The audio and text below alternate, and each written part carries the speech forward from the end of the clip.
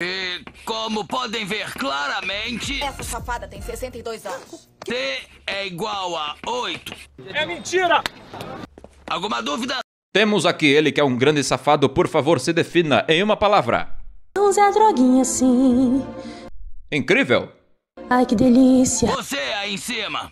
Já olhou pra alguém e pensou, o que passa na cabeça dela? Eu me prostituo. Comer cheeseburger. Eu, como professor, como estava dando a, a aula de Código Penal. Será que...